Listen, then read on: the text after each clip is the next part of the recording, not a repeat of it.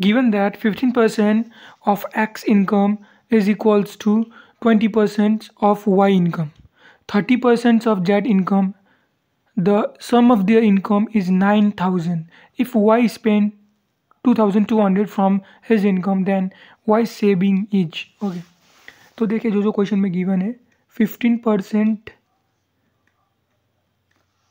Of x income यानी कि 15 fifteen percent of x income direct इसको कर देते हो fifteen x equals to twenty percent x y equals to thirty percent z okay तो यहाँ से डायरेक्ट परसेंटेज को रिमूव कर देते हैं अभी ओके परसेंटेज है, लेकिन एज्यूम करते परसेंटेज नहीं ओके तो डायरेक्ट फाइव से कैंसिल करके इसको रेशियो और छोटा बनाएँगे।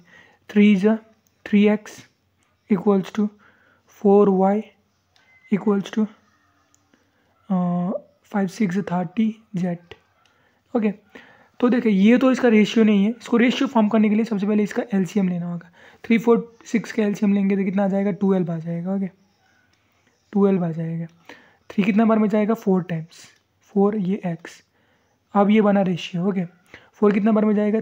Three y is to six कितना बार में जाएगा? ट्वेल्व? दो टाइम्स टू जेड इसको काट दीजिए। तो अब ये जो बना, ये मेरा इसका रेशियो बना ओके एक्स का रेशियो फोर वाई का रेशियो थ्री और जेड का रेशियो टू ओके ये बना। जो कि ये ये लोग का सम इक्वल्स है किसका नाइन नाइन थाउज़ेंड के बराबर, यानी कि फोर फोर थ्री नाइन कितना हुआ? नाइन एक्स एक वेरिएंट मान लेते हैं एक्स को ओके नाइन इक्वल्स टू क्या है मेरा? नाइन थाउज़ेंड एक, दो, तीन. तो यहाँ से मेरा एक्स का वैल्यू मिल जाएगा थाउज़ेंड कैंसिल हुआ nine one nine nine thousand okay तो एक्स का ये आ गया, यानी कि जो एक्स का आया, इसी में पुट करेंगे वाई में भी यही जेड में भी यही ओके तो पूछा क्या इन किसका इनकम के बारे में बात हो रहा है? वाई का इनकम के बारे में बात हो रहा है ओके सबसे पहले तो वाई का टोटल इनकम निकाल लेते हैं थ्री वाई है यानी कि थ्री इंटू वाई का मेरा वाई एक्स इसका भी वैल्यू मैंने थाउज़ेंड निकाला। एक, दो, तीन, यानी कि तीन हज़ार इसका टोटल है। ओके, टोटल, है वाई का कितना? तीन हज़ार। उसमें से क्या किया वाई ने? दो हज़ार दो सौ खर्च किया। दो हज़ार दो सौ।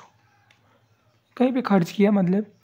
तो उसका सेविंग्स में क्या फ़र्क पड़ा? तो कितना बचा उसके पास?